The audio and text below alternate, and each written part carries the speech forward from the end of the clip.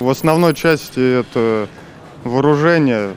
Меняем стволы на танках, меняем полуавтоматику, разбираем клинзатворы, чистим пушки.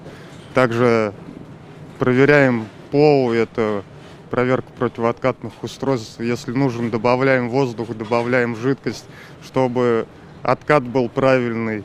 Потому что если не будет правильного отката, не будет выбрасываться гильза от заряда. То есть, чтобы полуавтоматик работал, ну, чтобы был и воздух, и жидкость в противооткатах и накатниках. Также меняем двигатель на самоходных установках, такие как 2 из 19. Также меняем на них бортовых, ну, делаем ходовую часть. Все, что касается с вооружением. До армии работал учителем в школе физической культуры. Ну, не знаю, пришел в армию, подписал контракт, понравилось, чем часть занимается, тоже ремонт.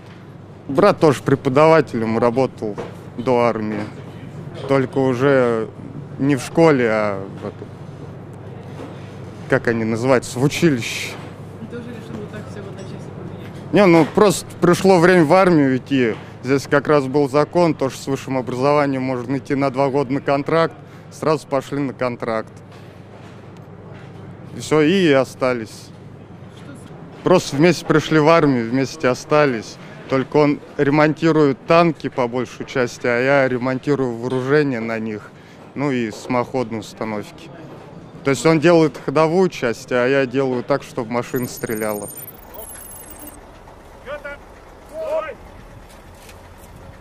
Давай, давай. Стоп, стоп, стоп.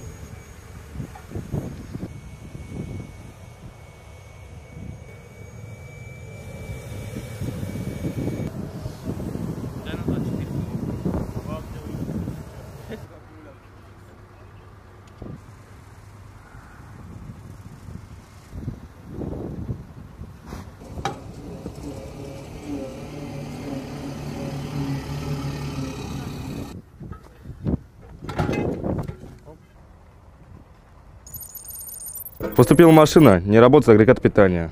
В ходе проведения диагностических работ прозвонили розетку, нашли обрыв цепи. Будем исправлять.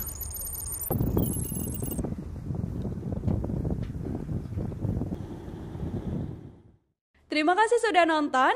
Jangan lupa like, subscribe, dan share ya.